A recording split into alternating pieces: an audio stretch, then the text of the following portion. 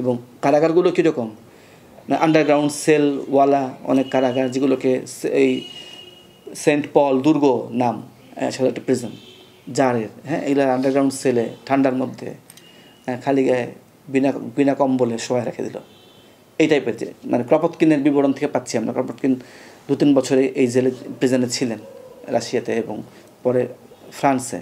ওনার একটা বই আছে in Russian and French prisons in French and Russian prisons ক্রপটকিনের তা এইসব বিভীষিকাপূর্ণ কারাগার হ্যাঁ সেগুলোতে পরে অ্যান্টি বলশেভিকরা থেকেছে। Pro revolution anti Bolshevik Bolshevik Russian রাশিয়ার জনগণ দু তিন বছরের মধ্যে ডাক দিয়েছে থার্ড রেভলিউশনের থার্ড রেভলিউশন মানে এবার বলশেভিকদেরকে উৎখাত করো। সেকেন্ড কোনটা? সেকেন্ড হচ্ছে এই যে। কেনেলসকে উৎখাত হয়ে যাওয়াটা। প্রথম হচ্ছে জারকে উৎখাত করলাম, বুর্জোয়া সরকারকে উৎখাত করলাম, এইবার বুর্জোয়া সরকার উৎখাত করতে গিয়ে দেখলাম যে আমার ঘাড়ের উপর বর্ষভিকরা বসে পড়ছে। হ্যাঁ এরা আমাদের লোক আমাদের লোক আমাদের লোক ভাবতেছিলাম, পরে দেখি এরা কারখানা সুবিধ ভেঙে দেয়, এরা ট্রেড ইউনিয়ন ভেঙে দেয়, এরা গ্রাম সুবিধ ভেঙে দেয়, এরা সৈনিক সুবিধ ভেঙে দেয়। লেনিন লিখতেছেন যে বিপ্লবী সমাজ, সমাজতন্ত্রী সমাজ কীভাবে? মানে এর ছবিটা কীরকম? ছবিটা হচ্ছে একটা বিরাট কারখানার মতো, যেখানে ওই একটা বাঁশি বাজলে পারে। সমস্ত লোক ডিসিপ্লিনভাবে ডিসিপ্লিনড হয়ে ঢোকে ডিসিপ্লিনড হয়ে বের হয়, এক মনে, এক সত্তায় কাজ করে। এরকম কারখানার যে একক পরিচালক, একটা সিঙ্গল উইল যেমন একটা কারখানাকে পরিচালনা করে। উনি তার আগে বলছিলেন কথা প্রসঙ্গে যে যে পুঁজিবাদ কি শুধু আমাদেরকে খারাপ জিনিসই দিয়েছে? পুঁজিবাদ থেকে আমরা আমাদের শেখার মতো অনেক কিছু আছে। কেমন? এই ধরনের কারখানা। সিঙ্গেল উইল মার্কের কারখানা। যে দেখো কারখানাতে তাকাও দেখো ক্যাপিটালিজম যে হাজার, বারো হাজার লোকের একটা কারখানা, বিশ হাজার লোকের একটা কারখানা, সেটা এরকম কত সুন্দর করে ঢুকতেছে বাড়াচ্ছে কি প্রোডাকশান তো এইটা হচ্ছে আমাদের সমাজতান্ত্রিক সমাজটা এরকম হতে হবে। গোটা রাশিয়া একটা সিঙ্গেল উইল দ্বারা পরিচালিত হবে। That is revolutionary society according to Lenin এই আইডিয়া রাশিয়ান রেভলিউশনের ছিল না, কোথাও ছিল না। এবং এই আইডিয়া বিনা রক্তপাতে প্রতিষ্ঠিত হয়নি। ওই যে বললাম, অজস্র ধরনের ছাত্রদের, সৈনিকদের, নাবিকদের, নেভাল ফোর্সেসের, কৃষকদের, গ্রামে গ্রামে মানে সদেড়েক বিদ্রোহের একদম মানে সলিড ডকুমেন্টেশন পাওয়া যায়, গোটা রাশিয়া জুড়ে এবং এই এই বাইশ চব্বিশ সাল পর্যন্ত। হুম? চেকা নামে যে একটা গুপ্ত পুলিশ সংস্থা, এটা তো লেনিনের তত্ত্বাবধানে গড়ে ওঠা, প্রত্যক্ষভাবে। তখনই রাসায়ন বিপ্লবের অন্যান্য অংশ বলছে যে রাসায়ন বিপ্লবের এখানে ইতি। যে এরকম একটা মানে গুপ্ত পুলিশ সংস্থা গড়ে তুলছি আমি যে ভিন্ন মত নির্মূল করে দেওয়ার জন্য, পোকামাকড় দমনের জন্য। ছাত্র ইন্টেলেকচুয়াল এবং ওই যে কষাক, কৃষকের উপর রাগ। কৃষক মানে খারাপ। এটা এই ব্যাধি একটুখানি মার্ক্সের মধ্যেও পেয়েছিলাম আমরা, অল্প অল্প, কোথাও কোথাও। মার্ক্সের রচনা বহু রকম। মার্ক্স একটা জায়গায় ওনার তো আর থিওরি ছিল না, ফলে উনি আগের থেকে ঠিক করে রেখে একই জিনিস আউড়ে যাননি। নানান সময় নানান কিছু মনে হয়েছে, সেগুলো বলেছেন। রাশিয়াতে বিপ্লবের সম্ভাবনা কীরকম এটা নিয়ে মার্ক্সের প্রবন্ধ আছে। ওই তার তার সময়তেই। এবং ওখানে উনি কৃষকদের জাগরণের একটা সম্ভাবনা দেখতে পাচ্ছিলেন। রাশিয়াতে বিপ্লবের সম্ভাবনা কীরকম তা নিয়ে বাকুনিনের লেখা আছে। সেখানেও বাকুনিন বলছিলেন যে কৃষকই হচ্ছে অনেক মানবিক। এই এই আমাদের শিল্প প্রলেতারিয়েটের তুলনায় বাকুনিন এতদূর পর্যন্ত দাবি করছিলেন যে এটা অনেক বেশি হিউম্যান নানান দিক থেকে, আমি ভালো মন্দ আমি আমি রায় দিচ্ছি না এখন হ্যাঁ আমি শুধু বিভিন্ন মতগুলো বলছি। তো আপনাকে তো ওই এখন মানে রাতারাতি আমেরিকাকে টাচ করতে হবে, ওই লেভেল ইন্ডাস্ট্রিয়ালাইজেশনে ধরতে হবে, আপনার এনিমি হচ্ছে কৃষক। কৃষককে লুট না করলে হ্যাঁ কৃষকের কাছ থেকে বিপুল সস্তা শ্রম রাশিয়া একটা কৃষি একটা কৃষকদের দেশ, বড় কৃষক, মাঝারি কৃষক, ছোট কৃষক একদম গরিব কৃষকের দেশ। পুঁজি। হ্যাঁ হ্যাঁ হ্যাঁ ফলে পুঁজি দাঁড় করাতে গেলে মানে। মনোপলিওয়ালা পুঁজি রাষ্ট্রীয় পুঁজি। রাশিয়াতে যেটা গড়ে উঠেছে লেনিনের সময় থেকে পরবর্তী পুরো সময় ধরে এটা একটা স্টেট ক্যাপিটালিজম যেখানে সমস্ত উৎপাদনের উপায় রাষ্ট্রের হাতে। আমেরিকান ইউরোপিয়ান ক্যাপিটালিজমে উৎপাদনের উপায়গুলো বুর্জোয়া- বুর্জুয়া ক্লাসের হাতে ওনার শ্রেণির হাতে মালিক শ্রেণির হাতে। সেখানে ওই শ্রেণির পরিসরের মধ্যে কিছু ডেমোক্রেসি আছে, কিছু কম্পিটিশান আছে, কিছু উত্থান পতন আছে।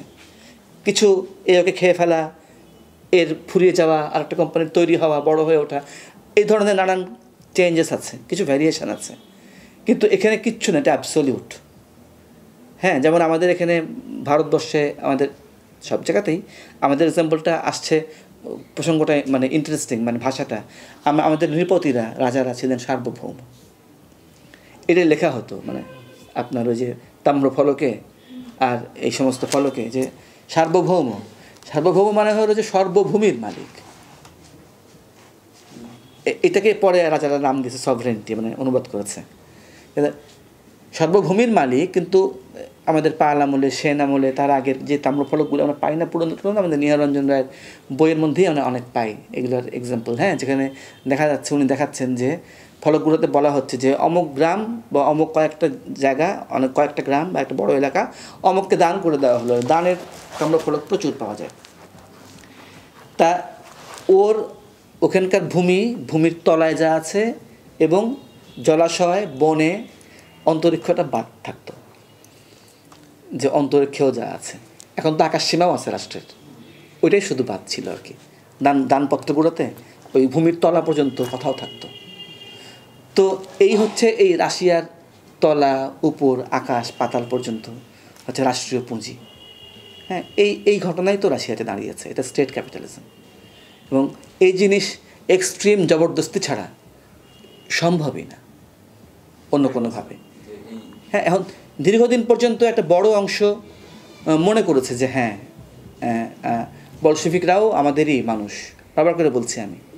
যত দিন গেছে এটা এই মোহভঙ্গ ঘটেছে এমা গোল্ডম্যানের বই আছে মাই ডিসইলুশনমেন্ট ইন রাশিয়া সতেরো সালের পরে গোটা পৃথিবীতে, সতেরো সালে এই ঘটনাতে গোটা পৃথিবী জেগে উঠেছিল শ্রমজীবীরা।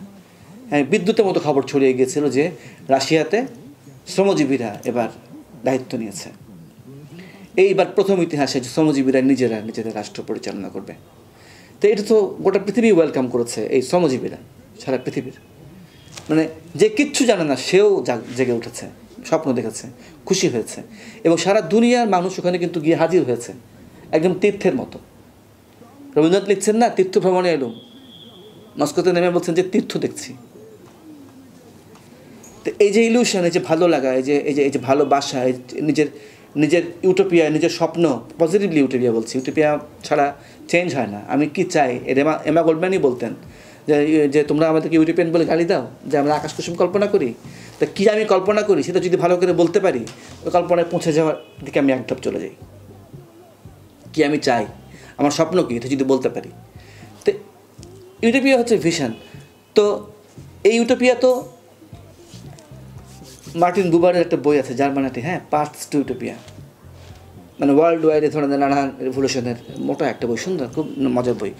যাক, তো এই তীর্থ এবং যে আমি আমি ইয়ে একটুখানি খেয়ে হারালাম যে এই ড্রিমটা নিয়ে তো সারা দুনিয়ার লোক এসে হাজির হয়েছিল রাশিয়াতে।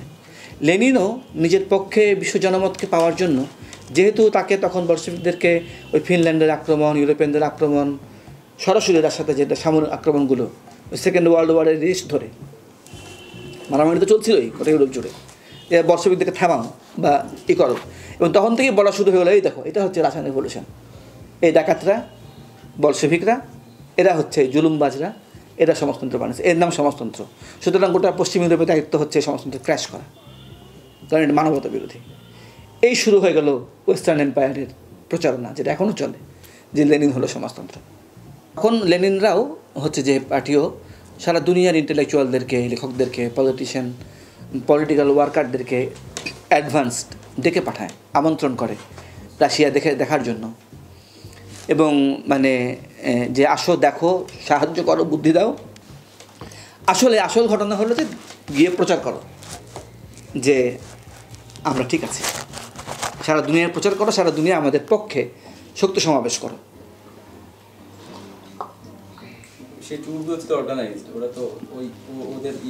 রাষ্ট্রীয় আমন্ত্রণের। টু আবার অনেকে আমন্ত্রণ পর্যন্ত অপেক্ষা করেনি, গিয়ে হাজির হয়ে গিয়েছে। হ্যাঁ এম এন রায়রা যেরকম, আমাদের আরও ভারতবর্ষে আরও কেউ আপনারা জানেন, গিয়ে হাজির হয়েছেন। হ্যাঁ এমা গোল্ডম্যান তো, ওনার জন্মই তো রাশিয়াতে। জন্মসূত্রে উনি রাশান এমা গোল্ডম্যান আমেরিকাতে এসে থাকতে বাধ্য হতেন। যখনই রাশিয়াতে পরিবর্তনটা ঘটলো যারেরা মূলত বহুজনকে পালিয়ে যেতে হয়েছে, থাকতে পারেনি রাশিয়াতে। তাই না? লেনিন যেমন ছিলেন না। তাকেও তো সতেরো সালে উনি ব্যাক করেছেন, মাঝখানে গেছেন, এসেছেন, সুইজারল্যান্ডে গিয়ে থেকেছেন, ফিনল্যান্ডে পালিয়ে গিয়েছেন, এগুলো হয়েছে। আচ্ছা তো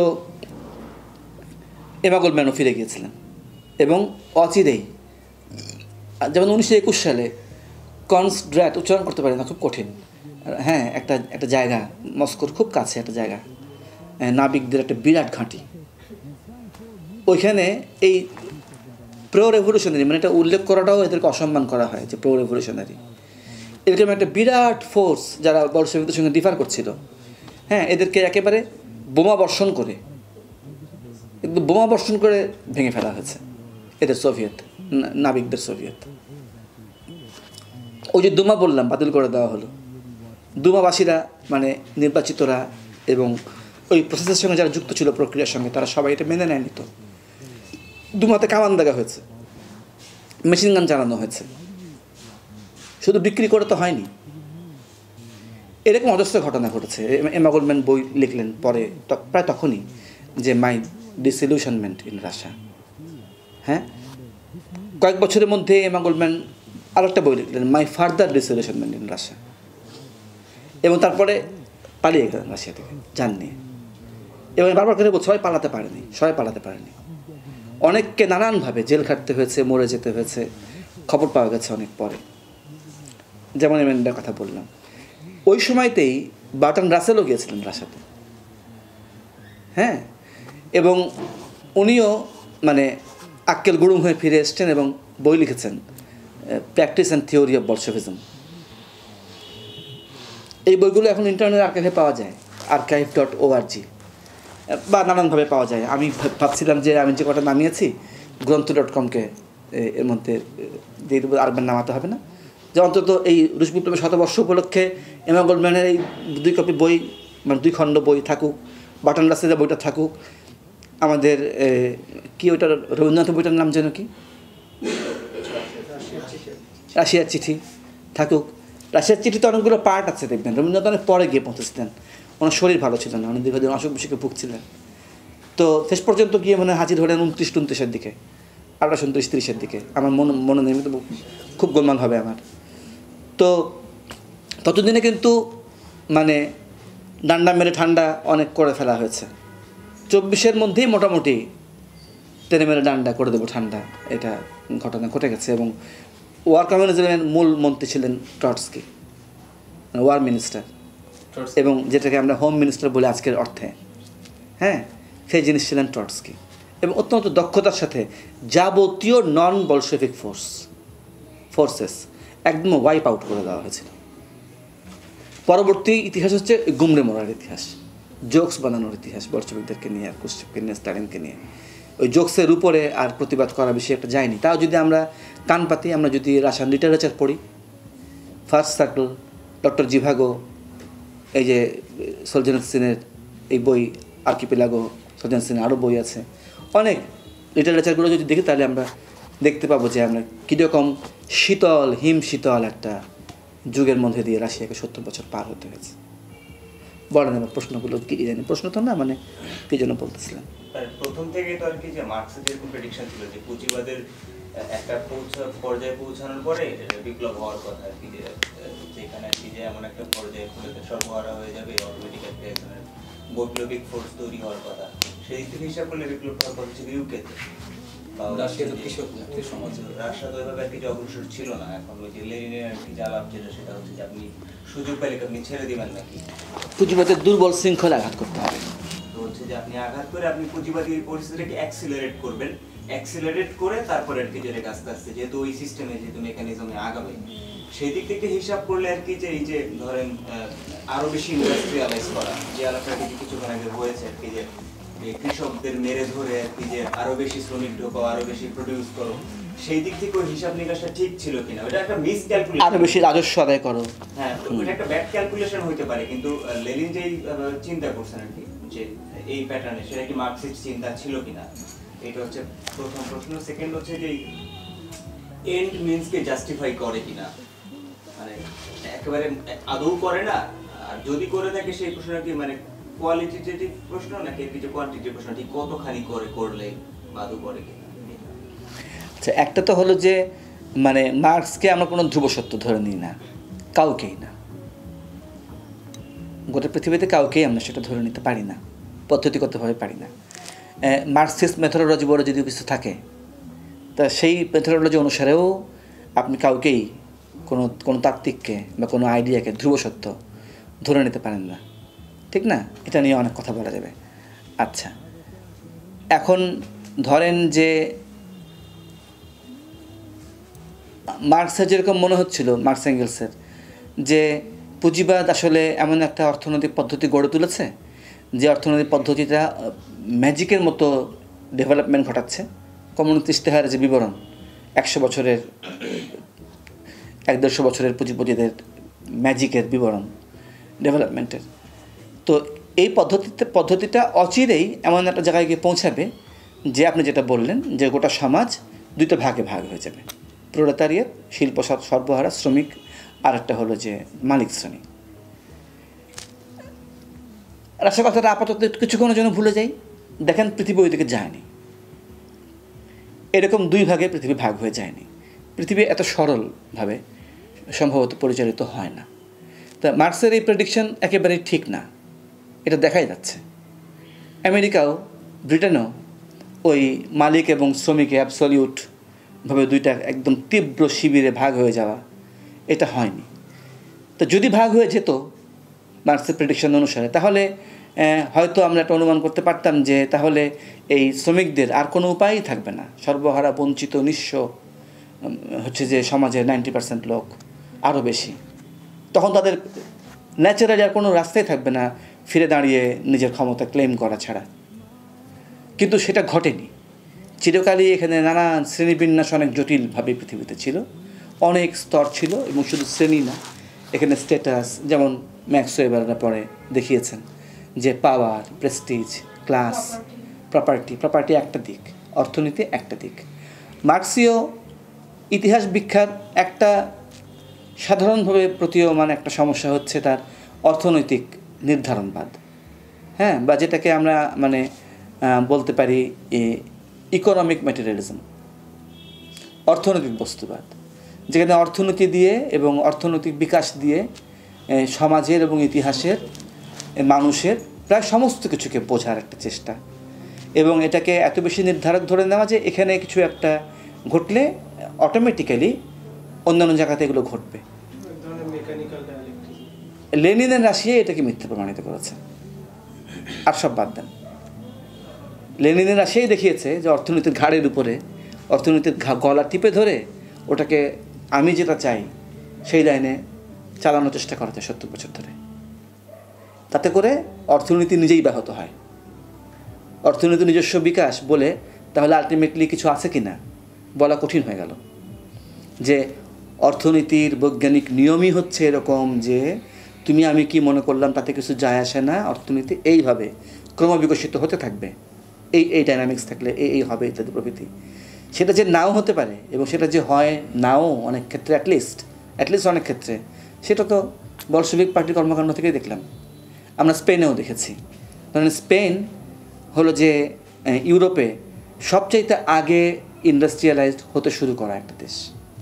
এবং যে সময়টাকে আমরা এখন ইন্ডাস্ট্রিয়ালাইজেশন বলছি ন্যায্যতই, তারও ধরেন প্রায় হাজার খানেক বছর আগে স্পেনে হিউজ ইন্ডাস্ট্রিয়াল রেভলিউশন ঘটেছে। এই যে সো কল মুসলিম শাসকদের সময় ডাইনাস্টিগুলোর সময়। এরা নানান কারণে অনেক বেশি ইনোভেটিভ ছিল। নানান কারণে ইউরোপের ইনোভেশন এবং তার মডার্ন যুগের যে রেনেসা যেটাকে বলছি আমরা ইউরোপিয়ান রেনেসা মানে চার্চের এবং রোমান সাম্রাজ্যের যে অন্ধকার বিভীষিকা মধ্যযুগ, সেটার অবসান তো এই স্পেনের এই কাণ্ডকারখানা দিয়েই শুরু, ইউরোপের এই অন্ধকার যুগের অবসান ঘটতে শুরু করা। এটা এই মধ্যপ্রাচ্যের ধাক্কা, এই তরঙ্গ এসে মারাত্মকভাবে আঘাত করার মধ্য দিয়েই আপনার তার হাত দিয়েই আমরা মধ্যপ্রাচ্য থেকে নতুন করে গ্রিক লিটারেচার বিজ্ঞান, সাহিত্য, গণিত সব কিছু পেয়েছি, জ্যোতির্বিজ্ঞান, সমস্ত কিছু। মানে অ্যারাবিকে ট্রান্সলেটেড হয়ে এটা ইউরোপে ঢুকেছে, এই স্প্যানিশদের হাত দিয়ে। এবং অন্যদিকে নানান রকম ইনোভেশনের একটা, ওটা একটা আলাদা আলোচনার বিষয় বা বোঝার বিষয়। আমি যে সব বুঝি মোটেই তা না। তো সেইটার যখন আপনি তার তার তার পরবর্তী এপিসোডেই যখন আমরা দেখেছি যে ওই সময়ের ওই ক্রুসেডের ইতিহাসের সূত্র ধরে যখন আবার যাজকরা এবং এই সমর্থক রাজা রাজতন্ত্র যখন স্পেনে আবার ক্ষমতায় গেছে, ওদের এক নম্বর কাজ হয়েছে যে ওই মুররা মানে মধ্যপ্রাচ্য থেকে আসা ওই সমস্ত রাজ রাজাদের বা শাসকদের সময় যা যা কিছু ঘটেছিল, প্রধানত অর্থনৈতিক সংস্কারগুলো, সেচ থেকে আরম্ভ করে, কারখানার বিকাশ থেকে আরম্ভ করে, নানান যে নতুন ম্যানেজমেন্ট দাঁড়িয়েছিল স্পেনে, ধর্মীয় কারণে হ্যাঁ যে ওই জিনিসটার বিরোধিতা করার কারণে গোটা জিনিসটাকে আন্ডু করার চেষ্টা। এবং স্পেনের ওই ইন্ডাস্ট্রিয়াল রেভলিউশনের গোটা কোর্সটা গতিধারাটা পরবর্তীতে প্রায় এই আট নশো বছরের জন্য একেবারে দাবা খেয়ে যায়। আপনার দমে যায়। হ্যাঁ কি বুঝলাম? অর্থনীতির নিজস্ব এমন কোনো বৈজ্ঞানিক গতিধারা নাই যা রাজা বাদশাদেরকে উপযুক্ত রাজা বাদশাদেরকে এর অবাধ্য হতে পারে। ধর্ম বলে না মানে হিউম্যান উইল এবং অর্গানাইজড উইল হচ্ছে যে অনেক কিছু করতে পারে। তো ফলে ওই অর্থনৈতিক বস্তুবাদ কিংবা আপনার মার্ক্সীয় সমাজ বিজ্ঞান কিংবা মার্ক্স কোনো একটা বৈজ্ঞানিক সূত্র আবিষ্কার করেছিলেন একটা দুটো তিনটা, এই আলাপগুলোর কাজের আলাপ না। মার্ক্সকে যদি আমরা আগাগোড়া বিচার করতে, চেষ্টা করতে পারি, তাহলে আমরা আমরা অনেক রকম মার্ক্সকে পাবো। কিন্তু তার মধ্যে আমরা মার্ক্সের একটা লিবার্টারিয়ান স্পিরিট স্পিরিট এটা খুব তীব্রভাবে পাবো। প্রথম দিকে তো পাবোই। পরের দিকেও অনেক পাবো। একদম শেষ পর্যন্তও অনেক পাবো। মানে এই জিনিস শেষ পর্যন্ত মুছে যায়নি কখনো। পরের দিকে এসে ধামাচাপা পড়েছে, পরের দিকে এসে আমরা কখনো কখনো খানিকটা অথরিটারিয়ান মার্ক্সকে পেয়েছি। বিশেষ করে ধরেন যে প্রথম আন্তর্জাতিকের সময়গুলোতে। ম্যানিফেস্টো কমিউনিস্ট ম্যানিফেস্টো মার্কসকে এমন খ্যাতি এনে দিয়েছিল গোটা ইউরোপে। মার্ক্সের বয়স তখন তিরিশ, উনত্রিশ, তিরিশ। হ্যাঁ এমন একটা অকল্পনীয় খ্যাতি এনে দিয়েছিল যে মানে ওই খ্যাতির ভার বহন করা সহজ না। হ্যাঁ? এবং এই খ্যাতির ভারেই হোক, যেভাবেই হোক, মার্কসের ভেতর, আমরা মার্কসের ব্যক্তিত্বের মধ্যে বা অন্ততপক্ষে সলিড কতগুলো ডিসিশন প্রথম আন্তর্জাতিকে শ্রমজীবীদের দেখেছি। তখনই আমরা দেখছি মার্কসকে, জনগণের রাষ্ট্রের থিওরি দিতে। ভক্স স্টেট ধরনের, উচ্চারণ আমার- ভুল হচ্ছে, জার্মান। হ্যাঁ? জনগণের রাষ্ট্র। এই নামে সোশ্যাল ডেমোক্রেট জার্মান সোশ্যাল ডেমোক্রেটদের পত্রিকা ছিল। এই লিবনিক্থের পত্রিকা ছিল। মানে যে পত্রিকার নামই হলো জনগণের রাষ্ট্র। যে আমরা ক্ষমতা দখল করে আমরা একটা জনগণের রাষ্ট্র প্রতিষ্ঠা করব। তখনই প্রথম আন্তর্জাতিকের ভেতরে আপনার এই যে আমস্টারডাম নেদারল্যান্ডসের, বেলজিয়ামের, স্পেনের, ফ্রান্সের, সুইজারল্যান্ডের আপনার শ্রমিকদের, প্রথম আন্তর্জাতিকটা হচ্ছে গোটা ইউরোপের শ্রমিকদের যে সমিতিগুলো, নানান ধরনের অ্যাসোসিয়েশনগুলো থাকতো, এরকম সমস্ত অ্যাসোসিয়েশন সমূহের একটা অ্যাসোসিয়েশন। শ্রমজীবী মানুষদের আন্তর্জাতিক সমিতি। এই সমিতিটা নিজে অনেক সমিতির সমিতি। এখন যেমন মুভমেন্ট অফ দ্য মুভমেন্টস বলতেছি না আমরা, এই যে বিশ্রাম বিরোধী লড়াই অকুপাই যে মুভমেন্ট দেখলাম আমরা আমেরিকাতে, মুভমেন্ট অফ দ্য মুভমেন্টস এরকম অনেক সমিতির সমিতি। এর ভিতরে যে কত রকমের শ্রমিক সমিতি থাকতো তার ঠিক নাই। বিভিন্ন আদর্শের, বিভিন্ন মতের, বিভিন্ন কাঠামোর, বিভিন্ন গড়নের সমিতি। তো এই সমিতিগুলোর ভিতরে মার্কসের একটা বিপুল প্রভাব ছিল। তার ব্যক্তিত্বের, তার খ্যাতির, নামের, তার পুঁজি গ্রন্থ রচনা পরবর্তী সময়ে পুঁজির মধ্য দিয়ে আরেক দফা বিরাট আপনার যে গ্রহণযোগ্যতা তৈরি হয়েছিল ন্যায্যতই। যেমন বাকুনিনের কথা বলি, মার্কসের, প্রথম আন্তর্জাতিকে মার্কসের প্রথম আন্তর্জাতিকের ভেতরে মার্কসের মানে মহাশত্রু বা মহাবিরোধী সত্তা প্রতি মার্কস অ্যান্টি মার্কস সত্তা যেটা আর কি বাকুনিন রাশা রুশ ল্যাঙ্গুয়েজে রুশ ভাষায় প্রথম পুঁজির অনুবাদ করতে শুরু করেন বাকুনিন রুশ ভাষায় কমিউনিস্ট ম্যানিফেস্টো প্রথম অনুবাদ করেছেন বাকুনিন বাকুনিন চিরকাল বলেছেন যে মার্কসের খ্যাতি কি বলে, মেধা, বুদ্ধি, তার বিশ্লেষণী ক্ষমতা, এর কোনো তুলনা নেই এবং এটা নিয়ে কোনো প্রশ্ন নেই। উনি বলছেন যে এটা আমি বুদ্ধিজীবী না বাকুনিন বলতেন। হ্যাঁ আমি বুদ্ধিজীবী না, আমি ফিলোসফার না, আমি জ্ঞানী লোক না, আমি লেখক না, আমি আমি নিজেকে সেলফ নিজেকে ডিপেন্ড ডিফেন্ড করা ছাড়া, আত্মরক্ষা ছাড়া আমি কিছু লিখিনি। নিজের নিজের দায় বুঝিয়ে বলা ছাড়া যে আমি এই জন্য এটা করেছি। এছাড়া আমি কোনো লেখালেখি করি না, আমি কোনো স্কলার না। হ্যাঁ কিন্তু আবার একই সঙ্গে বাকদিন বলেছেন যে পৃথিবীর কোনো একটা মানুষ যত বড় স্কলারই হোক ওনার ভাষা যদি বলি, মগজ যদি উপচায়ও পড়ে কারও তবুও আমি তার সমস্ত কথা বিনা বাক্য মেনে নিতে রাজি না। সমস্ত কথা। এবং যে কথাগুলো মেনে নিতে রাজি না, তার মধ্যে একটা কথা হচ্ছে এইটা, যে জনগণের রাষ্ট্র একটা ভুয়া আইডিয়া এবং এটা শুধু বাকুন্দিনের কথা না। ওই যে বললাম, শ্রমজীবী সমিতির, আন্তর্জাতিকের অনেক চ্যাপ্টার চ্যাপ্টার বলা হতো। এক একটা দেশের অংশগুলোকে চ্যাপ্টার বলা হতো। এক একটা চ্যাপ্টারের মধ্যে আবার ওই দেশের অনেক রকমের শ্র- সমিতি থাকতো। তো বিশেষ করে আপনার জার্মানি এবং ব্রিটেন, এটা হচ্ছে বেশিরভাগ মানে প্রধানত মার্কসের কর্মক্ষেত্র। কিন্তু এর বাইরে ফ্রান্সে আপনি দেখবেন যে সিন্ডিকেট বলে একটা জিনিস আছে। আজকে যেটাকে সিন্ডিকেট সিন্ডিকেট বলে আমরা মাফিয়া বানিয়েছি মানে ইচ্ছা করে বানিয়েছে একটা গ্রুপ রুলিং ক্লাস যারা সিন্ডিকেট শব্দটা শুনলে আতঙ্কিত বোধ করেছে। চিরকাল। ফলে এটাকেই তারা একটা খারাপ শব্দে পরিণত করেছে। যেমন জানতা জানতা মানে সামরিক জানতা, তাই না? কিন্তু জানতা মানে সোভিয়েত, স্প্যানিশ ল্যাঙ্গুয়েজে পঞ্চায়েত, আর কিছু না। স্প্যানিশ রেভলিউশনে জানতা মানে লোকাল কমিটিগুলো যেগুলো বাংলায় খানিকটা আড্ডা মার্কা, আড্ডা ধরনের বলতে পারেন, খানিকটা। এই ধরনের জিনিস, এগুলোকে নেতিবাচক শব্দে পরবর্তীতে নানানভাবে এগুলো হয়েছে, শব্দের খেলা, শব্দের রাজনীতি, সেগুলো হয়েছে। তা ফ্রান্সে সিন্ডিকেটের ইতিহাসটা একদম আলাদা। ওখানে প্রুধো থেকে আরম্ভ করে নানান রকম থিঙ্কারদের চিন্তাভাবনা, শ্রমিকদের নিজেদের রিয়ালাইজেশন আমেরিকান শ্রমিকদের একেবারে আলাদা ইতিহাস সেগুলো আছে। শ্রমিকদের নিজেদের দৈনিক পত্রিকা, সাপ্তাহিক পত্রিকা, এগুলো কিন্তু গোটা ইউরোপ জুড়ে ছিল। এগুলো কিন্তু ওই অমুক হুজুর দেখে বেড়ায়নি। এগুলো হচ্ছে ইন্ডাস্ট্রিয়ালাইজেশনের প্রথম জেনারেশন থেকে তৈরি হওয়া শ্রমিকদের সংঘগুলোর, যারা রক্ত মাংস দিয়ে বুঝেছে যে ক্যাপিটাল কি। বই পড়ে না। বই লেখার পর তারা খুশি হয়েছে যে আমাদের দুঃখ কষ্টের লিখিত বিবরণী, বৈজ্ঞানিক বিবরণী এবার এসেছে। আমরা এবার পণ্ডিত দিকে ধোলাই করতে পারব ওই ভাষা দিয়ে। কিন্তু ক্যাপিটাল কি আর উদ্বৃত্ত মূল্য কি? সারপ্লাস লেবার কি? হ্যাঁ এই জিনিস তাদের বুঝতে, তারা কারখানাতে, ওই রাক্ষসের মতো কারখানাগুলোতে তারা কিন্তু শিখেছে। তার অজস্র প্রমাণ তাদের পত্র, পত্রিকায় লেখায় পুস্তিকায় এগুলোতে আছে। আদিকাল থেকে। আচ্ছা তো ফলে ফ্রান্সের এই ইতিহাস আলাদা। সুইজারল্যান্ডের ওরা জুরা ফেডারেশন বলতো। নানান রকম ফেডারেল আপনি আজকের পৃথিবীতেও ফেডারেল গভর্নমেন্টের যে সিস্টেম মানে ডিসেন্ট্রালাইজ ধরনের গভর্নমেন্টের যে সিস্টেম এটার এক্সট্রিম ফর্ম। আজকের পৃথিবীতে এক্সিস্টিং অবস্থার মধ্যে যা আছে, তার মধ্যে একটা এক্সট্রিম ফর্ম সুইজারল্যান্ড। এবং এর ব্যাকগ্রাউন্ড দেখবেন, সুইজারল্যান্ডের শ্রমিক আন্দোলনের হিউজ প্রভাব আছে। তারা এইভাবেই তৈরি হয়েছে। গোটা সুইজারল্যান্ড এভাবেই গড়ে উঠেছে। এটা এটা এমনি এমনি সুইজারল্যান্ডের সরকার আজকে এরকম না। যেখানে লোকাল কমিটি, পিপলস ভয়েস, একেবারে আমজনতার ভয়েস প্রচুর, বিপুল।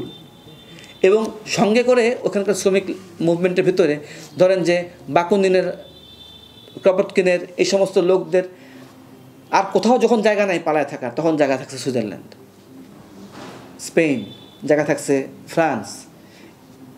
এখন একইভাবে এরকম আরও আপনার অনেক স্পেন, কি বলে, বেলজিয়াম হল্যান্ড, নেদারল্যান্ডস, এরকম অনেক আপনার ইউরোপের অ্যাকচুয়ালি মেজরিটি চ্যাপ্টারগুলো থেকে আপনি এই মার্ক্সীয় ধারার আলাপ আলোচনা পাবেন না। নানান টাইপের, নানান টেস্টের লিবার্টারিয়ান আইডিয়াস পাবেন। যেখানে শ্রমিক সহজে বুঝেছে যে কারখানার মালিক আমাকে হতে হবে। আমার পক্ষ থেকে তিনটা হুজুর বা তিরিশটা হুজুর আমার ভোটে নির্বাচিত হবে, নির্বাচিত হয়ে তারা আমার শাসক হবে। তারা কারখানার মালিক হবে মানে রাষ্ট্র। এইটাকে তারা সমাজতন্ত্র কোনো দিন মনে করেনি। চিরকাল সমাজতন্ত্র মানে হলো ওয়ার্কার্স কন্ট্রোল যারা প্রডিউস করে, তারা প্রোডাকশন চালাবে। প্রোডাকশন সবচেয়ে বেশি বোঝে কে? যে প্রডিউস করে। রান্নাঘর সবচেয়ে বেশি বোঝে কে? যে রান্না করে। মাছের সবচেয়ে বেশি বোঝে কে? যে মাছ মারে, যে মাছ ধরে, যে মাছের ব্যবসা সারা জীবন ধরে করে। সড়কের সবচেয়ে ভালো বোঝে কে? যারা সড়কে চলাচল করে। সড়কের বাসের মালিকরা না তো। সড়ক মন্ত্রণালয়ও না তো। সবচেয়ে বেশি বোঝে সড়ক সড়ক শ্রমিকরা এবং সড়কে অন্যান্য যারা সড়ক চলাফেরা করে। এটা প্রাচীনতম আইডিয়া এটাই সমাজতন্ত্র। হ্যাঁ যে যারা প্রডিউস করে, তারা প্রোডাকশনের মালিক হবে।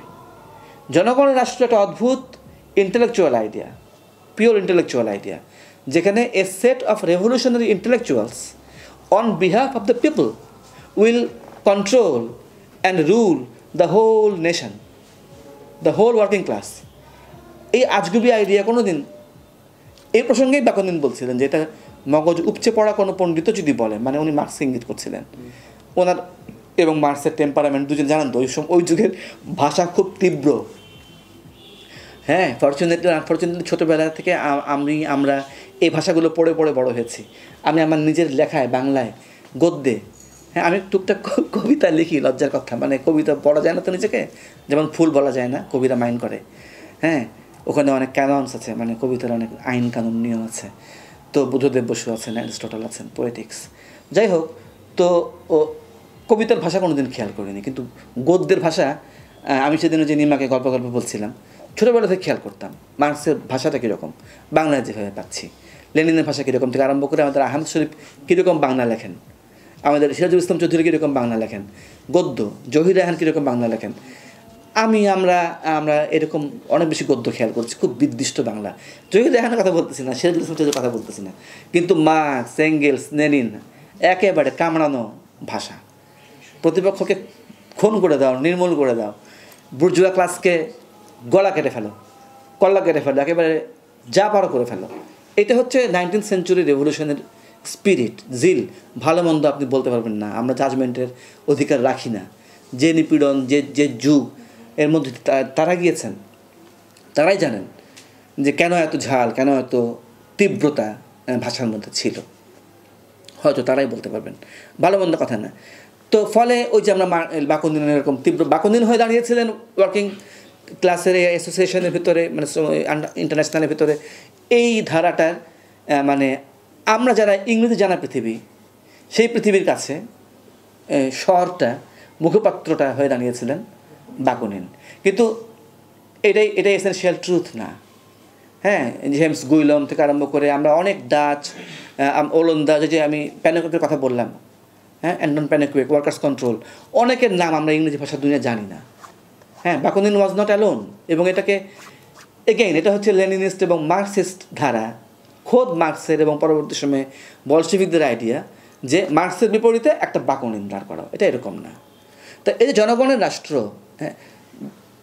বাকুনিন লিখছিলেন যে, সবচাইতে সত্যিকার অর্থে সায়েন্টিফিক ক্লাস একেবারে বিজ্ঞানীদের একটা একটা পার্লামেন্ট যদি তৈরি হয় পার্লামেন্ট মার্কা জিনিস, এবং তারা যদি সম্পূর্ণ বৈজ্ঞানিক উপায়ে রাষ্ট্র পরিচালনা করে তবু আমি এই বিজ্ঞানীদের রাষ্ট্র মান- মানতে রাজি না। রাষ্ট্র যদি হতেই হয়, যে সংস্থাই হোক, এটা পিপলের হাতে থাকতে হবে।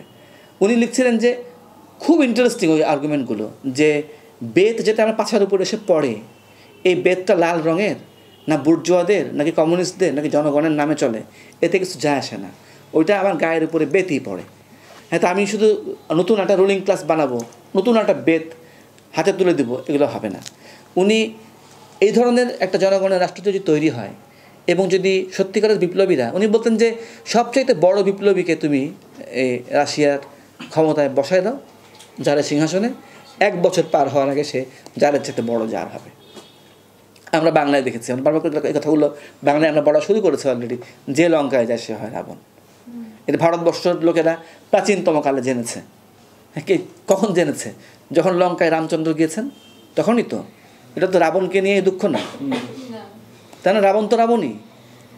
যখন আমি ভেবেছিলাম যে না রাম যাওয়ার পরে লঙ্কা অন্যরকম হয়ে যাবে কিন্তু হয়নি। তখনই তো এই দুঃখ পেয়ে বলেছে এটা। যে যে লঙ্কায় যায় সেই রাবণ হয়। তাই তো? আচ্ছা তো এই, এইগুলো। তো এই ধরনের একটা উনি বাকলিন বলছিলেন যে, চমস্কি এক জায়গায় লিখছিলেন হ্যাঁ যে সোশ্যাল সোশ্যাল সায়েন্সে বা সামাজিক ক্ষেত্রে সবচাইতে নির্ভুল যে প্রেডিকশনগুলো আমরা দেখেছি, প্রেডিকশন করা খুব কঠিন সামাজিক ক্ষেত্রে, প্রায় অসম্ভব। কিন্তু সবচাইতে নির্ভুল প্রেডিকশনগুলোর একটা হচ্ছে বাকুনিনের এই প্রেডিকশন, যে যদি একটা এরকম জনগণের রাষ্ট্র বিপ্লবীরা কোনোদিন তৈরি করে, কোনো বিপ্লবী সংস্থা that will be the greatest lie এবং সেটা হবে রেড লাই সেটা হবে রেড ব্যুরোক্রেসি এবং সেই ব্যুরোক্রেসি কীরকম অত্যাচার এবং জুলুমবাজ হয়ে উঠতে পারে, তার কয়েক পাতার বিবরণ বা বাকুনিনের আপনি মোট জোগাড় করতে পারবেন। এবং সেগুলো তার তার মারা যাওয়ার আরও অনেক বছর পরে রাশিয়াতে যে রেড ব্যুরোক্রেসি তৈরি হয়েছে, তার সাথে যদি মেলান, দেখবেন যে অক্ষরে অক্ষরে মিলছে। এবং এটা শুধু বাকুনি না যে বললাম না আমাদের রোজা লুক্সেমবার্গের কথা বললাম। আরও অনেকের ইউরোপের এই এই লিটারেচারগুলো এখন আছে, নানান আর্কাইভে আপনার ওই যে নেদারল্যান্ডসের, স্পেনের, ফ্রান্সের, সুইজারল্যান্ডের এই ধারাগুলো। তো এখন এটাও মার্কস যে কমিউনিস্ট ইন্টারন্যাশনাল পরিচালিত হবে কীভাবে। এখন ধরেন দেখতেই পাচ্ছেন যে একটা বহু স্বরের, বহু মতের, বহু ধারার একটা শ্রমিকদের সমিতি। তা এখানে কার কি মত? সেটা তো বড় কথা না। বড় কথা হচ্ছে যে আমরা শ্রমিক, আমরাই প্রডিউস করি। পৃথিবীর মুখে ভাত দিই আমরা, দালাল কোঠা বানাই আমরা কারখানা চালাই আমরা, কৃষিকাজ করি আমরা। We are the producing class এবং সুতরাং আমরা সবচেয়ে বেশি প্রোডাক্টটা সবচেয়ে কম পাই হচ্ছে আমি। সুতরাং এটা এর চেয়ে অনিয়ম হতে পারে না, এটা বদলাতে হবে। এটা তো বুঝ, এখানে কা- কোন মতের, কে কোন আইডিওলজির এটা তো কথা না। তা এই ধরনের একটা প্রতিষ্ঠান আপনি চালাতে পারেন কীভাবে? সর্বোচ্চ ডেমোক্রেটিক পদ্ধতিতে? এছাড়া আপনি ধরনের একটা বহু স্বরের জিনিসকে কীভাবে একসঙ্গে রাখতে পারেন? এখন অচিরেই আমরা দেখলাম কি যে প্রথম আন্তর্জাতিকের ভিতরে প্রথম আন্তর্জাতিক কিন্তু মারাত্মক শক্তিশালী ইউরোপ জোড়ে একটা বিশাল ফোর্সে পরিণত হয়েছিল। হ্যাঁ এবং এদের একটা ধর্মঘট তারা ডাকলে গোটা ইউরোপ অচল হয়ে যেত। সমস্ত কারখানা অচল হয়ে যেত। ধর্মঘটের মতো ভয় মালিকদের গোটা ইউরোপ জুড়ে আর কোনো কিছুকে ছিল না। হ্যাঁ স্ট্রাইক এই যে পরশুদিন পর্যন্ত আমাদের এখানেও যে হরতালের আতঙ্ক এটা কিন্তু ওই জিনিসেরই রেশ। হ্যাঁ হত্যার কথাটা আমাদের গান্ধীদের, গুজরাটের। আচ্ছা ভাষা। তো এরকম একটা প্রতিষ্ঠানকে পরিচালনা করার জন্য এবার মার্কস যে পদ্ধতি অচিরেই হাজির করলেন, যে ওই যে ডেমোক্রেটিক সেন্ট্রালিজম টাইপের, এই নামটা উনি বলেননি। যে ডিসিপ্লিন থাকতে হবে এবং যখন ডিসিশনটা সবাই মিলে নেওয়া হয়ে গেল, এই ডিসিশন সবাইকে মেনে চলতে হবে। কিন্তু প্রথম আন্তর্জাতিক শুরু থেকে এইভাবে চলতো না। ডিসিশন ডেমোক্রেটিকে যে নেওয়া হতো, যারা ডিফার করতেন, তারা ডিফার করতেন, তারা ওটা করতেন না। এটা কমন সেন্স আপনি আপনার ফ্যামিলিতে পাঁচটা ভাই আছেন, বোন আছেন, মা বাবা আছে, চাচা, ফুপু ইত্যাদি, ধরে নিচ্ছি একটু বড় করেও যদি হয়, বা ছোটো একটা ফ্যামিলিও যদি হয়, আপনি আপনার সন্তানকে, ভাইকে যদি বাধ্য করেন মেজরিটি ডিসিশন মেনে চলতে, তখন ফ্যামিলিতে যা হয়, এটা অসন্তোষ হয়, দুঃখ হয় পারস্পরিক আন্ডারস্ট্যান্ডিং নষ্ট হয়। রক্তের সম্পর্ক, আসলে মানুষের সাথে মানুষের সম্পর্ক সবারই রক্তের। রক্তের সম্পর্ক নষ্ট হতে থাকে। তাই না? কিনশিপ ভেঙে পড়তে থাকে। ফলে এটা কিন্তু প্রথম আন্তর্জাতিক সবচেয়ে বড় তর্ক হয়ে গেল দুইটা। একটা হলো প্রথম আন্তর্জাতিক এর চলন, গড়ন ডিসিশন মেকিং ডিসিশন এর প্রয়োগের কী হবে? সেখানে এরকম একটা মার্ক্সীয় পদ্ধতি প্রণালী আসলো, একদম মার্ক্সের কাছ থেকে। আর একটা বাকি সবার কাছ থেকে আসলো যে না, এটা decentralised it was always decentralised it will be always decentralised এই নিয়ে অজস্র লেখা আছে। আপনি প্রথম আন্তর্জাতিকের দলিলপত্রের আলাদা আর্কাইভ আছেন এটা দেখবেন।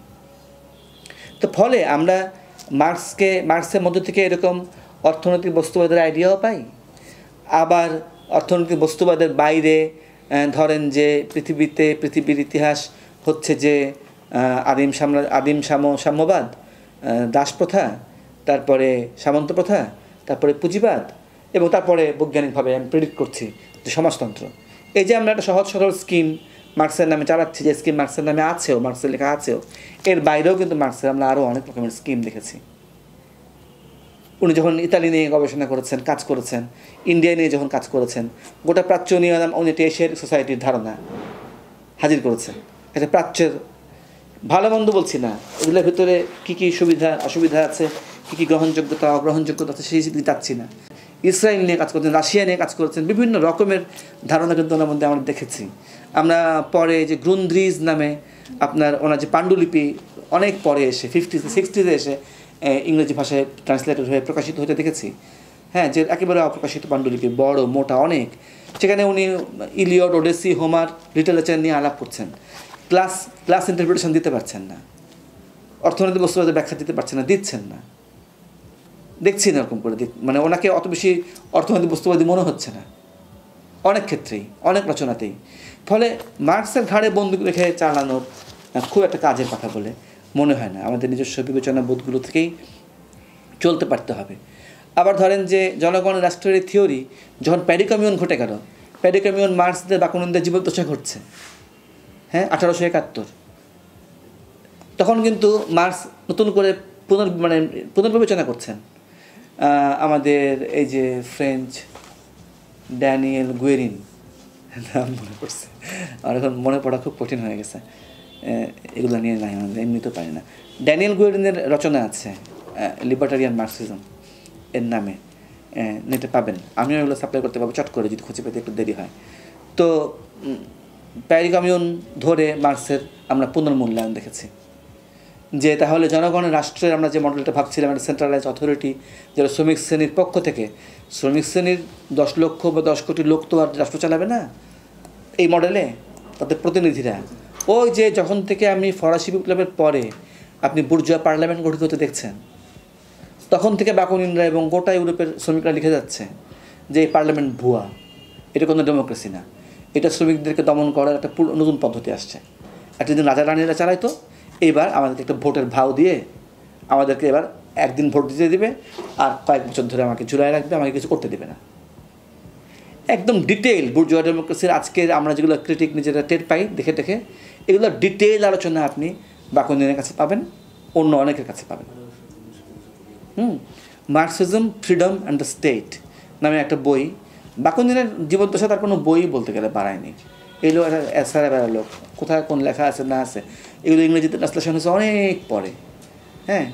কিছু ফ্রেঞ্চ এডিশন মানে ফ্রেঞ্চ ট্রান্সলেশন পরে ইংরেজি ট্রান্সলেশনগুলো অনেক পরে বই আকারে বেরিয়েছে। এক আধটা বই তার সময় বেরিয়েছিল। তাও অসমাপ্ত পাণ্ডুলিপি মার্কা। উনি আসলে সত্যি স্কলার না। হ্যাঁ? এই বই লেখা লোক না। কিন্তু হি ওয়াজ এ স্টর্ম হিমসেলফ এটা সবাই, আমি অনেক রকমের মানে যারা তার মানে তাকে পছন্দ করেন না, এরকম লোকেরাও বাকুন্দিনের জীবনের সম্পর্কে যখন লিখছেন, আমি দেখেছি, তারা বলছেন, এটা বিরাট ভাল্লুক। যে একটা মূর্তিমান ঝড়ের মতো। গোটা ইউরোপের যেখানে ভয়াবহ পরিস্থিতি, তিন দিন পরে দেখা গেলো বাকুন্দিন ওখানে আছে ফিজিক্যালি এই টাইপের যাই হোক, তো বাকুন্দিনকে গ্লোরিফাই করার কিছু নাই বাকুন্দিনকে নিয়ে প্রচুর মুশকিল আছে। তার প্রথম জীবনে আপনার একেবারে এই মানে আল কায়দার পিতামাতা মার্কা টেরোরিজমের প্রবক্তা না বাকুন্দিনকে হতে দেখেছি। হ্যাঁ গুপ্ত সমিতি গঠন থেকে শুরু করে আপনার একদম গুপ্ত সমিতি ডিসিশন নেবে গোটা পার্টি মানবে, এই মার্কা আলাপ আলোচনা তাকে একদম প্রথম থেকে করতে দেখেছি। আমাদের কোনো পীর দরবেশ, হুজুর দরকার নাই বা কোনো অবতার দরকার নেই। আমরা সবটাই পর্যালোচনা করতে পারলে আমরা বেনিফিটেড হব। এটা হচ্ছে অ্যাপ্রোচ তো ফলে আপনার ওই প্যারি কমিউনের পরে কিন্তু দেখেছি যে ওনারা বলেছেন যে, না, এই যে কমিউন তৈরি হলো, কমিউন হচ্ছে ওই যে সোভিয়েত মার্কা জিনিস। জনগণের, এটাকে ওরা ওরা ওরা ওরা অচিরেই এই জিনিসটার যে নতুন নাম দাঁড়াল, সেটা হলো direct democracy. Soviet democracy. Democracy দুই রকম। এদিক থেকে যদি আপনি দেখেন, একটা হচ্ছে রিপ্রেজেন্টেটিভ ডেমোক্রেসি মানে হুজুর ধরা গণতন্ত্র।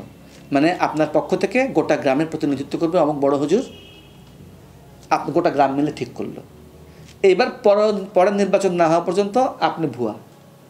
ওই বড় হুজুর যেটা বলবে, আপনি সেটা শুনতে পারবেন। ক্ষমতা বড় হুজুরের হাতে চলে গেছে। আপনি পাঁচ বছর পরে বা তিন বছর পরে বলতে পারেন যে, না, এই হুজুর ভালো ছিল না। আমাদের ভালো হুজুর ভোট দিতে হবে। আপনি বড় হুজুর, বদলায় খুব ডেমোক্রেটিক খুব ফেয়ার ইলেকশনও যদি হয়, আপনি বদলায় নতুন একটা ভালো হুজুর ইলেক্টেড করতে পারেন। কিন্তু পৃথিবীর ইতিহাসে দেখা গেছে যে কোনো ভালো হুজুরই পিপলকে সত্যিকার অর্থে রিপ্রেজেন্ট করতে পারে না, চাইলেও পারে না। এটা হতে পারে না। আর ক্ষমতা যখন তিনশো জনের হাতে যায়, তিরিশ জনের হাতে যায় বা পাঁচশো জনের হাতে যায়, ইত্যাদি প্রভৃতি, মজলিসে সুরা হোক পলিট ব্যুরো হোক, জনগণের পার্লামেন্ট হোক, আপনি যে নামই দেন না কেন। হ্যাঁ পার্লামেন্টারি ডেমোক্রেসি হোক প্রেসিডেন্সিয়াল ডেমোক্রেসি হোক, ইত্যাদি প্রভৃতি। ঘটনা হয় যে অল্প কিছু লোকের হাতে ক্ষমতা, এটা হচ্ছে ইনডাইরেক্ট ডেমোক্রেসি এটা হচ্ছে রিপ্রেজেন্টেটিভ ডেমোক্রেসি আমার ক্ষমতাটা আমি আমার প্রতিনিধির হাতে দিয়েছি। আমার রিপ্রেজেন্টেটিভের হাতে দিয়েছি। আরেকটা হলো ডাইরেক্ট ডেমোক্রেসি ডাইরেক্ট ডেমোক্রেসিতে ধারণাটা রিপ্রেজেন্টেটিভের না। ধারণাটা ধারণাটা ডেলিগেটেড যে আমার পাওয়ার আমি রকির হাতে ডেলিগেট করেছি। ডেলিগেট করা মানে ও আমার লোক, ও আমার লোক। আমি বিরাট বড় লোক, আমি আমার গঞ্জের ব্যবসার হাটে বা তিন মাইল দূরের আরেকটা হাটে বা পাঁচ গ্রাম দূর দূরের আরেকটা বন্দরে, সব জায়গাতে আমি দৌড়াতে পারি না। আমার লোক আমি পাঠাই। ওইখানকার ওখানকার লোকেরা যারা ব্যবসা বাণিজ্য করে, তারা জানে যে ওই আব্দুল হক হচ্ছে নিউটন নামক একটা বিরাট মার্চেন্টের লোক। আমার ডেলিগেট বাংলায় বললে এটাও প্রতিনিধি। দুই প্রতিনিধি আলাদা। এটা হচ্ছে আমার লোক আর ওটা হচ্ছে আমার ক্ষমতাটা এবার আমি ওকেই দিয়ে দিয়েছি। মানে কিন্তু এটা তা না হ্যাঁ। আর এটা হচ্ছে যে হ্যাঁ পাওয়ার অফ অ্যাটর্নি আমি রবিনকে দিয়ে পাঠিয়েছি তা আড়ানিতে আড়ানিতে আমার ব্যবসা রবিন দেখবে। আড়ানির লোকেরা জানে যে রবিন হচ্ছে নিউটনের লোক। এখন আমি আমার যদি রবিনকে মনে হয় যে না রবিন আমার কাজকর্ম ঠিকমতো করতেছে না আমার স্বার্থ ঠিকমতো বাস্তবায়ন করতেছে না তখন আমি বলব যে রবীন্দ্রের পাওয়ার অফ বাতিল। আড়ানিতে আমি লোক পাঠা জানাই দিলাম বা আমি যা বলে আসলাম রবীন্দ্র না এখন থেকে রকি হচ্ছে আমার লোক। হ্যাঁ বা আমি রকির লোক। তখন কিন্তু ওই রবীন্দ্রের দাম আড়ানিতে এক পয়সা নেই। আমার লোক হিসেবে যে দামটা ছিল। চোখের পলকে দামটা রবীন্দ্রের চলে গেল, দাম হলো রকির। এটা হচ্ছে ডেলিগেশন যে আমার পাওয়ার আমি ডেলিগেট করেছি। না, আমি আমার ক্ষমতা গচ্ছিত করেছি অনেকে অনেকে, অমুকের নামে। যে আমার পক্ষ থেকে ও করবে। কিন্তু ও কী করবে? ও কিন্তু আমার সাথে আলাপ করে করবে। ও কিন্তু প্রতিদিন আমাকে জিজ্ঞেস করবে যে কোনো মুহূর্তে বাতিল করা হ্যাঁ এবং যে কোনো মুহূর্ত প্রতি মুহূর্তেই ভাই অবস্থা তো এরকম হয়ে গেছে। বা স্যার বা হুজুর বা অমুক বা আব্বা বা আম্মা বা ছোটো ভাই ঘটনা তো এরকম হয়ে গেল। এখন কি করব? এই যে প্রতি মুহূর্তে আসল পাওয়ারওয়ালার কাছে জিজ্ঞেস করা ভাই এখন কি করব? ভাই এখন কি করব? ঘটনা তো এটা হয়ে গেছে। এইটা বাস্তবে ঘটেছে রুশ বিপ্লবের সময় ঘটেছে। সোভিয়েতগুলোর যে প্রতিনিধিরা ফ্রন্টে গিয়ে লড়াই করছে নানান রকম কাজকর্ম করছে তাদেরকে যুদ্ধ করতে করতে দৌড়াতে দৌড়াতে পিছনে খবর পাঠাতে হচ্ছে সোভিয়েতের কাছে, নিজের সোভিয়েতের কাছে। যে ঘটনা পরিস্থিতি এইটা, এখন কি করব? মানে পলিসি মেক করার ক্ষমতা ওই প্রতিনিধির নাই। পলিসি মেক করি আমি পিপল হ্যাঁ? এবং এই পলিসি বাস্তবায়নের দায়িত্ব দিই আমি আমার প্রতিনিধি ডেলিগেটের কাছে। ডেলিগেট যদি আমার- পলিসি মতো বাস্তবায়ন করছে না বলে মনে হচ্ছে, আমার উপর দিয়ে মতব্বরি করছে, তাহলে আমি ডেলিগেশন বাতিল করে দেবো। এটাকে বলে রাইট টু রিকল ডেকে পাঠানো। বলে না, স্যার, আপনাকে সালাম দিছে, বড় হুজুর। মানে রিকল করছে, আপনার কথা স্মরণ করছে। আপনার কথা স্মরণ করছে বলে না? একদম রাইট টু রিকলের বাংলা। মানে জান গা ধাতানি খান গা। মানে আপনি আকাম কুকাম একটা উল্টা পাল্টা করছেন এবার। আপনার চাকরিও চলে যেতে পারে। এটা হচ্ছে রাইট টু রিকল যে আমি তোমাকে দায়িত্ব দিয়েছিলাম, আসো, তোমার সাথে আলাপ আছে, তুমি বাদ। এখন থেকে অন্যজন আমার প্রতিনিধি। তো বছর জুড়ে এই ডেলিগেশন চেঞ্জ হতে পারে। এটা হচ্ছে সোভিয়েতের ধারণা এটা হচ্ছে পঞ্চায়েতের ধারণা। এটা হচ্ছে প্রাইমারি ডেমোক্রেসি ডাইরেক্ট ডেমোক্রেসির ধারণা। ডেলি হ্যাঁ এই। তো ফলে প্যারি কমিউন এই ধরনের ডাইরেক্ট ডেমোক্রেসির জায়গা। ডেলিগেটরি আপনার ডেমোক্রেসির জায়গা। হ্যাঁ রকি? কীভাবে নির্দিষ্ট সিদ্ধান্তে একমত হবে? এত লোক। হ্যাঁ আর যেমন যেমন ধরো কি যে এই যে মেক্সিকোতে। থামবো নাকি? বেশি ই হয়ে যাচ্ছে? মেক্সিকোতে যেমন ধরো সেদিন এখনও বলতে গেলে। চিয়াপাস নামে মেক্সিকো যে, যেখানে এই যে মার্কসিস্টদের নেতৃত্বে একটা আপনার ই হচ্ছে তোমার বিদ্রোহ, মেক্সিকান গভর্নমেন্টের বিরুদ্ধে আদিবাসীদের চিয়াপাসের এবং আশপাশের একটা উপত্যকা লোকদের একটা ই হচ্ছে, লড়াই হচ্ছিল। তা দেখা গেল কি, এরা, দেখেন, এই পয়েন্টটা আমাকে একবার বলতে হবে যে, এই মার্কসিজম এবং অ্যানার্কিজম ইত্যাদি যে অ্যাপারেন্টলি যে পার্থক্যগুলো দেখতে পাচ্ছি।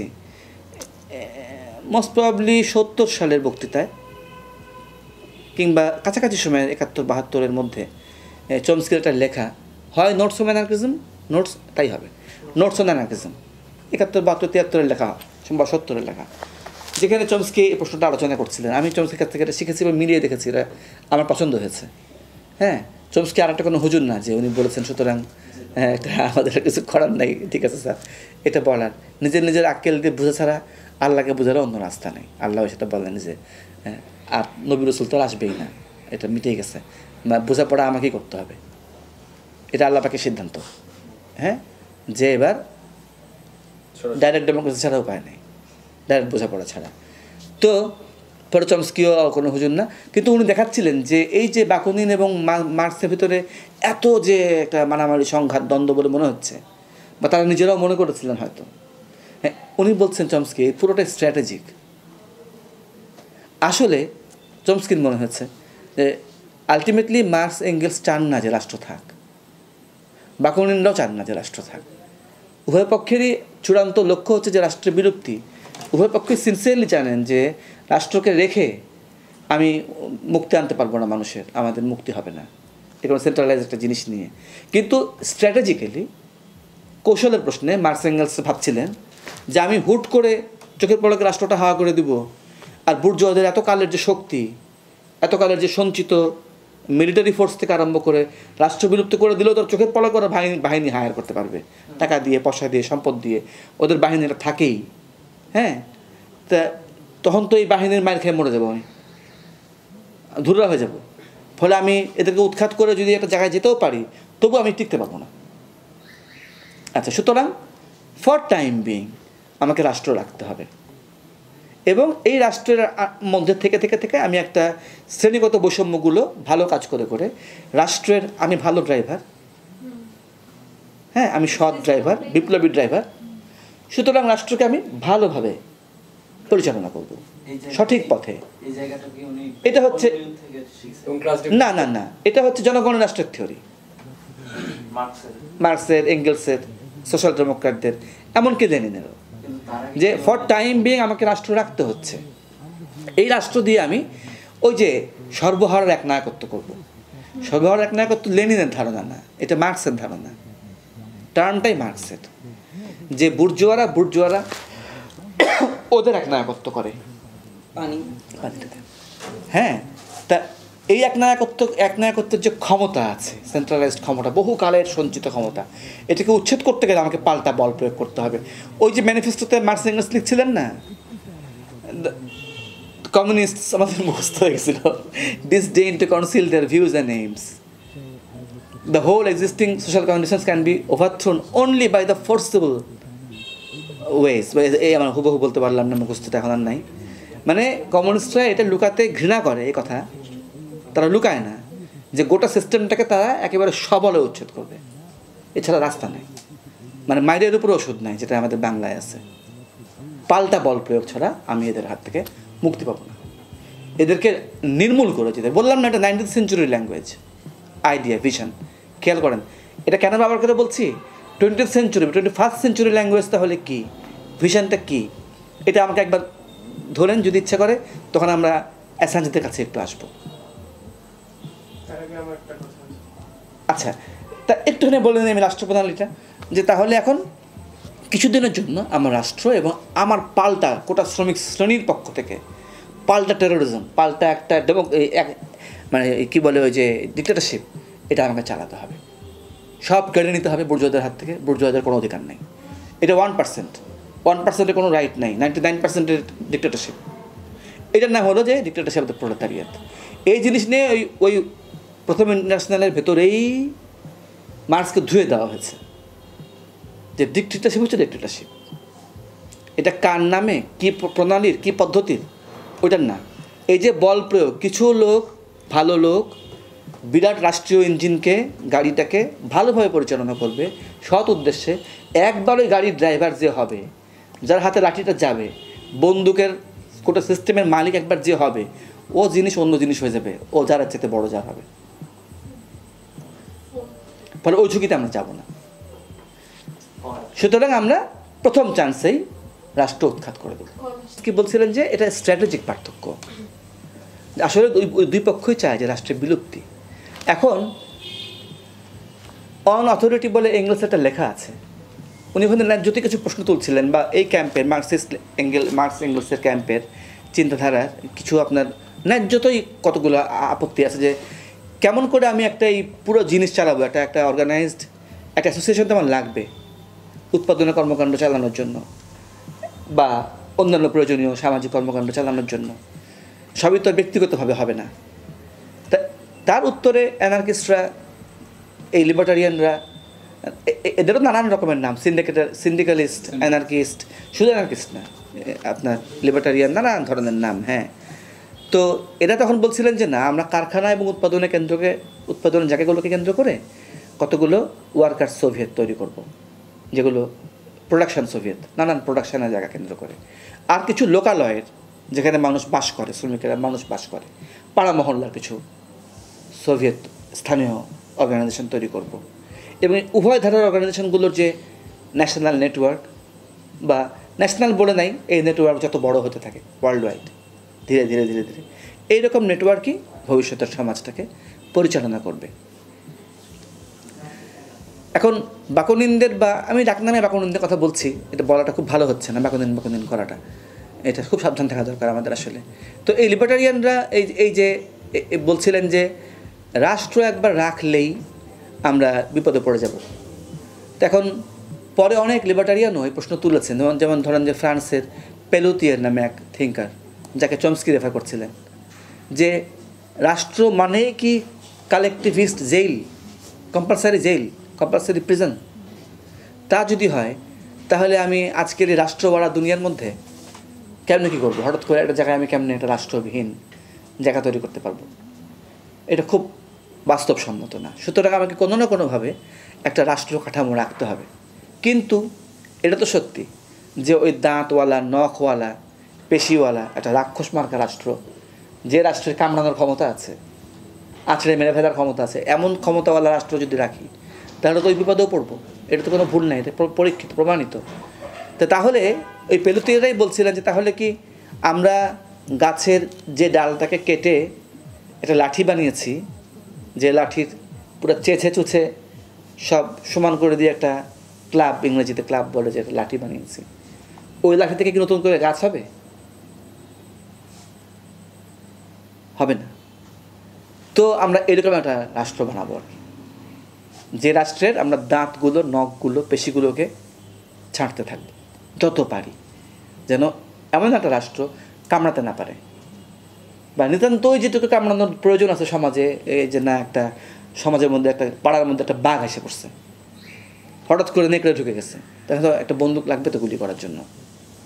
রাখতেই পারে। ফলে হুট করে বন্দুক তুলে দিচ্ছি না, কিন্তু বন্দুক ডিসেন্ট্রালাইজড রাখব। ইত্যাদি। মানে অর্গানাইজড কামড়ানোর এবং আচড়ানোর নিপীড়নের ক্ষমতাগুলো আমি রাষ্ট্রের হাতে রাখব না। এইরকম একটা জায়গাতে একটা একটা ফয়সলার মতো জায়গা হয়। এটা একটা জায়গা। আরেকটা জায়গা হলো তাহলে ওইদিকে আমরা দেখছিলাম যে Pannekoek William Paul British communist party Pannekoek Netherlands আমাদের এই রোজা লুক্সেমবার্গ জার্মানি কমিউনিস্ট পার্টির, আপনার ওয়ার্কার্স পার্টির সোভিয়েত ইউনিয়নের অ্যানার্কিস্ট থেকে দেখছি যে র্যাডিক্যাল পন্থা বা রেভলিউশনারি পন্থা যেটা সত্যিকারের সামাজিক পরিবর্তনে, সামাজিক বিপ্লবে বিশ্বাস করে, এটা কিন্তু কি মার্কসিস্ট মহল বা সোশ্যাল ডেমোক্রেটিক মহল বা কি সোশ্যাল রেভলিউশনারি মহল মানে অ্যানার্কিস্ট মহল, এই দুই মহলের মধ্যে কিন্তু অমিল নাই স্ট্রাইকিং মিল দেখা যায়। হ্যাঁ মানে চমস্কি বড় বড় কোটেশন দিয়ে দিয়ে দেখিয়েছেন যে আপনার উইলিয়াম পলের লেখা প্যানিকুইকের লেখা, কোথাও কোথাও মার্কসের লেখা এবং অ্যানার্কিস্টদের লেখা। মানে রেভলিউশনারি মার্কসিস্টস এবং রেভলিউশনারি অ্যানার্কিস্টস এর ধারণাগুলো বেসিক্যালি একই। ফলে আমরা এই যে মার্কসিজম বনাম অ্যানার্কিজমের যে একটা কৃত্রিম ডাইকোটমির ভিতরে পড়ে আছি, যেটা প্রথম ইন্টারন্যাশনাল ধরে তৈরি হয়েছিল মার্কস বাকুনিন্দন নিজেরাও এই জিনিসকে একটুখানি লালন করেছিলেন। পরবর্তীতে বলশেভিকরা ওয়ার্ল্ড ওয়াইড এই বলশেভিক সাম্রাজ্যটাকে লালন করেছে। অ্যানার্কিস্ট মানেই আদি কাফের, আমাদের ধর্মগ্রন্থ, ধর্ম সাম্রাজ্যের ইত্যাদি। এটা ঠিক না। এই ঠিক না জ্ঞানটা যে চমস্কি পৌঁছালেন এটা আকাশ থেকে না বা মস্তিষ্ক থেকে না। এটা হচ্ছে সিক্সটিজের ইউরোপ জোড়া যে মুভমেন্ট ছাত্রদের মুভমেন্ট প্রধানত শ্রমিকদের মুভমেন্ট যেটাকে প্যারিস বসন্ত বলি আমরা এখন হ্যাঁ?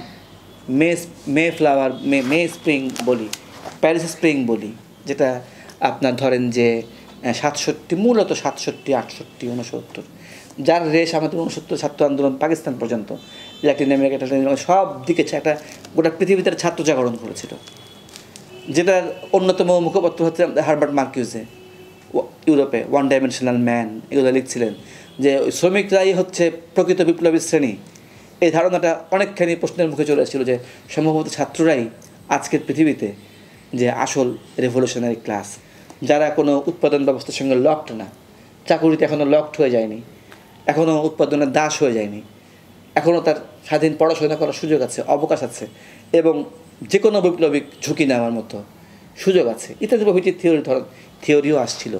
এবং তার চেয়ে বড় কথা যে প্যারিসে মানে ফ্রান্সে, আপনার ইউরোপের অন্যান্য দেশে মার্কিন যুক্তরাষ্ট্রে, যে ধরেন ডিলানরা একটু পরে যারা বব ডিলানরা, ওই সিক্সটিজেই আমাদের সেভেন্টিজের ভিয়েতনাম বিরোধী যুদ্ধের যে অ্যাক্টিভিস্টরা এবং গোটা সেভেন্টিজ জুড়ে সিক্সটিজ জুড়ে আমেরিকা, ইউরোপে যে নারীবাদ গড়ে উঠল, যে কালো মানুষদের যে সংগঠনগুলো গড়ে উঠল পরিবেশবাদী সংগঠনগুলো গড়ে উঠল, পরমাণু বিরোধী, পরমাণু বোমা বিরোধী, যেখানে যেখানে পরমাণু স্থাপনা আছে পরমাণু স্থাপনা দখল করে নাও ফিজিক্যালি পনেরো জন অ্যাক্টিভিস্ট ঢুকে পড়ল পরমাণু স্থাপনার মধ্যে, যে এখানে পারমাণবিক বোমা রাখতে দিব না। পারমাণবিক জাহাজ চলতে দিব না সমুদ্রে, মাঝখানে এতটুকু স্পিড বোট নিয়ে পারমাণবিক জাহাজের সামনে গিয়ে শুয়ে পড়লাম। স্পিড বোট সরাবো না, আমার ওকে মেরে ফেলো। কারণ এটা মারাত্মক ক্ষতি। এই যে, এটা হচ্ছে যে ডাইরেক্ট অ্যাকশন থিওরি আমি ওইদিকে এখন যাচ্ছি না। এটা সাংগঠনিক কর্মপ্রণালীর প- পদ্ধ- প্রশ্ন যখন উঠবে, তখন আমরা ওইদিকে যাব। এটা আর একটা বড় একটা চ্যাপ্টার আলোচনা থাকল। তো এই সমস্ত কর্মকাণ্ডের মধ্য দিয়ে কোথাও একটা বিরাট নতুন জাগরণ গড়ে উঠছিল। সিক্সটিজ এবং সেভেন্টিজ ইউরোপ এবং আমেরিকা ধরে। এই জাগরণটাতে ইন্টারেস্টিংলি আপনার মারাত্মক কন্ট্রিবিউশন ছিল হচ্ছে লিবার্টারিয়ান মার্কস মার্কসিস্টদের যে মার্কসিস্টরা ইউরোপের মার্কসিস্টরা কোনো দিনই আমাদের মতো এত আন্ধা মার্কসিস্ট ভালো করে হয়ে উঠতে পারেনি। পশ্চিম ইউরোপের মার্কসিস্টরা হ্যাঁ ওদের অন্য সামাজিক ইতিহাসের কারণে। অত ভালো করে হতে পারেনি। এমনকি কমিউনিস্ট পার্টিগুলোও না। ভালো করে হতে পারেনি। উসকুস উসকুস করে গেছে। না ঠিক হচ্ছে না ভালো হচ্ছে না। এইরকমভাবে হয় না। হ্যাঁ মাঝখানে কিন্তু অনেক ঘটনা আছে। ছাপান্ন সালে হাঙ্গেরিতে রাশিয়ান ট্যাঙ্ক চলে গেছে। জনগণের অভ্যুত্থানের উপর মানে একদম জাগরণের উপর দিয়ে রাশিয়ান ট্যাঙ্ক চলে গেছে হাঙ্গেরিয়ান পার্টিকে বাঁচানোর জন্য। চেকোস্লোভাকিয়াতে স্লোভাকিয়াতে এই সিক্সটিজেই হ্যাঁ আবার রাশিয়ান ট্যাঙ্ক চালানো হয়েছে এটা প্রাক বসন্ত বলে। চেকোস্লোভাকিয়ার জনগণের মানে অভ্যুত্থানকে দমন করার জন্য। চেক রিপাবলিক। হ্যাঁ। এখন চেক রিপাবলিক ওটার ভিতরে আরও অনেক ইচ্ছে অন্যরা ছিল। তো এগুলো দেখেছে না পশ্চিম ইউরোপ? হ্যাঁ জার্মানি, চোখের সামনে জার্মানির অর্ধেকটা একটা দাসের মতো দেশ হয়ে গেছে। দেওয়ালের এ পাশে এরকম, দেওয়ালের এ পাশে এরকম। এগুলো দেখে কোনোদিন পশ্চিম ইউরোপ শান্তি পায়নি। তো ফলে মার্কসিস্ট অর্গানাইজেশনগুলোর মধ্যে আপনার বিশেষ করে ছাত্র এবং এরকম শ্রমিকদের মধ্যে কিন্তু বিরাট একটা রিয়েল রেভলিউশনারি স্পিরিট ডেভেলপ করে। যেটাকে সিচুয়েশনিস্ট ইন্টারন্যাশনাল বলে, ফ্রান্সের এই প্যারিস বসন্তের প্রধান একটা শক্তি কেন্দ্র। সিচুয়েশনিস্ট ইন্টারন্যাশনাল এস আই বলে সংক্ষেপে।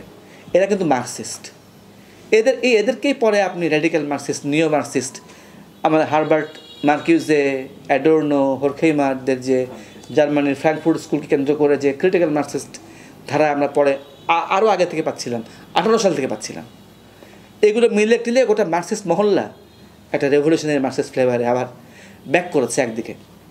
অন্যদিকে আপনার ওই যে অ্যানার্কিস্টদেরকে যে রাম ধুলাইটা আঠারোশো আশি, নব্বই, উনিশশো উনিশশো দশের মধ্যে দেওয়া হয়েছে, ওটা একটা ছোট হিস্ট্রি আমরা ওদিকে যাব না মানে চ্যাপ্টার অ্যানার্কিস্টদেররাও ওদের কিছু করারও ছিল না, রাস্তায় নামতে পারতো না, তখন ওরাও কিছু বড় বড় কারখানার মালিককে দু একটা ইউরোপের রাজা বাদশাকে কল্লা কেটে দিয়েছিল, পিস্তল দিয়ে গুলি করে দিয়েছিল, বোম মেরেছিল ওগুলো করছি- করছিল ফলে তারা বিশ্বাসযোগ্যতাও হারাচ্ছিল, জনবিচ্ছিন্ন হয়ে যাচ্ছিল। আবার ওদের উপায়ও থাকছিল না যে করবোটা কি? বই লিখতে দেয় না, একটা চিঠি লিখতে দেয় না, ধরে ফেলে, মেরে ফেলে, সুতরাং আমরা মারি। এইসব করতে গিয়ে টেরোরিজমের পাল্লায় পড়েছিল, কোটা অ্যানার্কিস্ট মুভমেন্টটা ওই মুছে যাওয়ার পরে বা তার আগে আরেক দফায় প্যারি কমিউনের পরে যে একেবারে মুছে দেওয়া হয় ইউরোপ থেকে অ্যানার্কিস্ট থেকে। প্যারি কমিউনে আপনারা দেখেছেন, পরে মে দিবসে আপনারা দেখেছেন যেগুলো এক্সট্রিম লিবার্টারিয়ান স্পিরিটগুলো কাজ করেছে। নতুন করে এই অ্যানার্কিস্টের জাগরণটা আমরা এই সেভেন্টিজে সিক্সটিজে দেখেছি, ইউরোপ জোড়া এবং আমেরিকাতেও।